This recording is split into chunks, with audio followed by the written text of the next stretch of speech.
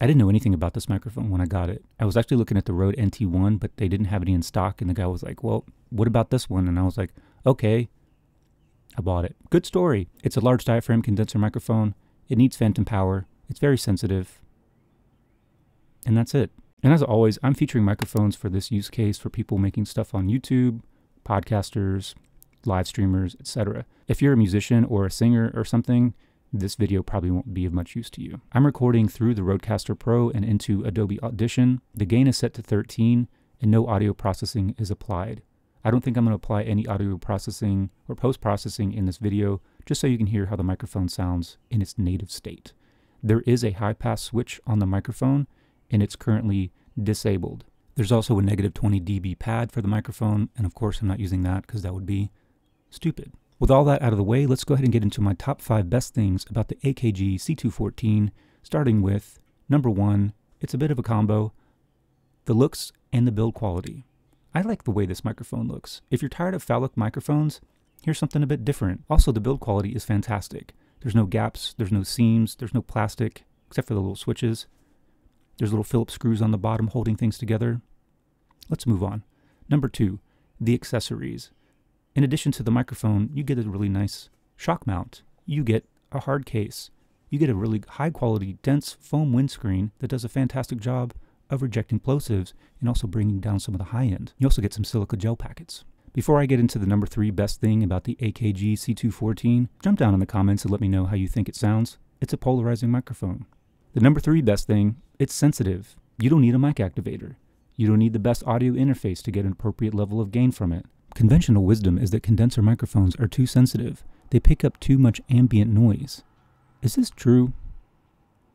I'm actually going to test this more extensively in a future video, but the short answer is, it depends. Number four best thing, the proximity effect. I think this microphone sounds really good if you get close to it.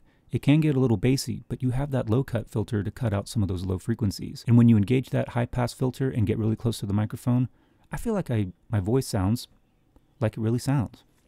If you want a voiceover microphone without breaking the bank, well, depending on what you consider bank breaking, this might be a good choice. Number five best thing about this microphone is the sound. I realize it's not for everybody. The highs might be a little bit too harsh, a little bit too metallic, but it is super clear, super articulate, it has a really nice smooth low end, in my opinion. Let's get into the five worst things about the AKG C214. Number one worst thing about the AKG C214 is the sound. What the f? You just said the sound was the... I know. I'm just acknowledging that the sound is a bit polarizing. The highs might be a little too brittle, they might be a little bit too harsh. The scooped mids, again, it's not for everybody, but no microphone is. So really the point is, test it for yourself, listen to it on a bunch of different voices, see if it works for you. Also, the really detailed articulate sound can be a problem if it's picking up a lot of the gross mouth sounds. You really do have to be careful how you address this microphone or get some good plugins to try to remove some of that noise. Number two worst thing about this microphone are the plosives. I'm kind of getting tired of emphasizing plosives in microphones. I feel like every microphone is going to suffer from plosives if you talk right into the top of the microphone and go, Peter Parker pop some popcorn. But who does that? Number three worst thing about the microphone, it's a condenser microphone, and some people just can't get around that. People will insist it's too sensitive, picks up too much ambient noise, I can't get it to sound good. So maybe it's not the best choice for people in acoustically challenged environments. Maybe not the best choice for game streamers. Maybe not the best choice for people who just cannot or will not get close enough to the microphone to turn the gain down so it's not picking up every thing in the room. Why am I cussing so much? Number four, I'm really picking nits here. The grill is a little bit flexible. It bends a bit. I can't see this being a problem unless you just trash all your stuff. Number five worst thing about the AKG C214, it's expensive. It's not the most expensive microphone, it's about $600 less than the C414, but in comparison to some of its close competitors like the Rode NT1A, which by all accounts is a fantastic sounding mic, probably a bit more neutral than this, also comes with a lot of great accessories, doesn't look as good. And then there's also the Lewitt 440 Pure. Both those mics are a little bit less expensive than the C214. Well, there you go. There's my list of the five best and five worst things about the AKG C214. Let me know in the comments what you think.